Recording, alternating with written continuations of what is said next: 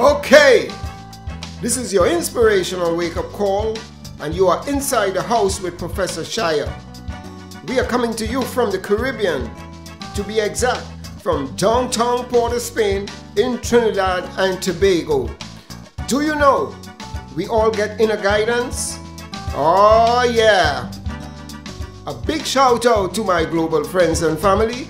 Today we'll be looking at how God speaks to us.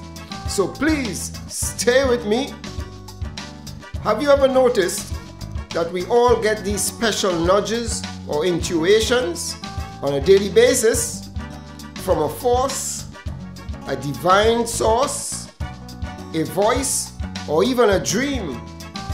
Stay with me. Today, this humbles me as I have been told we all have the ability to hear the voice of God, but we are so caught up in our worldly events, we have forgotten you know, I want to share the story with you. As a boy growing up, I always watched my father leave for work every morning. On this particular morning, as he left for work, one of my sisters had a terrible seizure. We all started to panic, and of course, we started praying.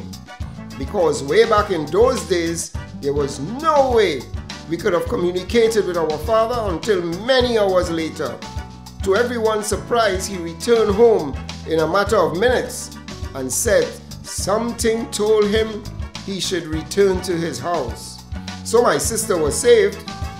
But was it a combination of the inner voice and our prayers that compelled him to return home? Before I go, let me leave you with this. Inner guidance is a great gift and it's not a game. If we try to use inner guidance to control life and other persons around us, we will be misusing this gift. God's voice speaks to us through people in our lives. And finally, if you want to form a relationship with God, you have to learn to listen. Until next time, let us keep loving our hearts. Let us hold each other's hands to make it through these times this was your inspirational wake up call with Professor Shire. Love you all.